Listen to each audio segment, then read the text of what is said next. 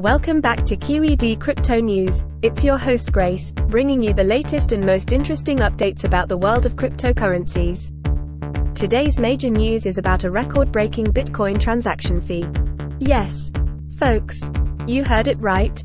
An eye popping $3,140,000 was paid in fees for a single Bitcoin transaction. Sounds unbelievable, doesn't it?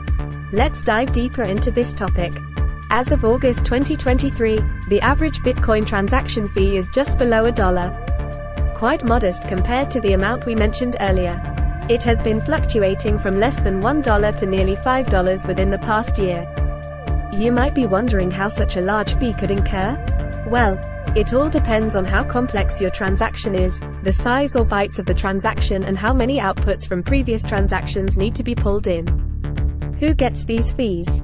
It's not FTX or any other exchange. It goes directly to the miner who mines the block that includes your transaction. Additionally, keep in mind that different cryptos have different types of fees and ways they are calculated. Moreover, there are ways to save on these fees too. For instance, Segwit transactions can charge fees that are up to 30% cheaper than legacy transactions.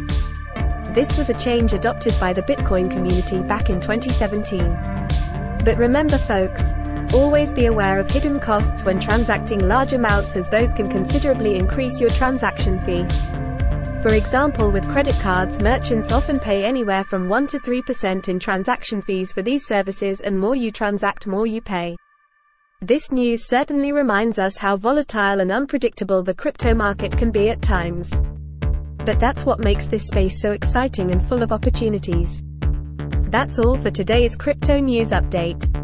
Stay tuned for more exciting cryptocurrency updates and don't forget to stay safe and make informed decisions. This is Grace, your host at QED Crypto News signing off. Until next time.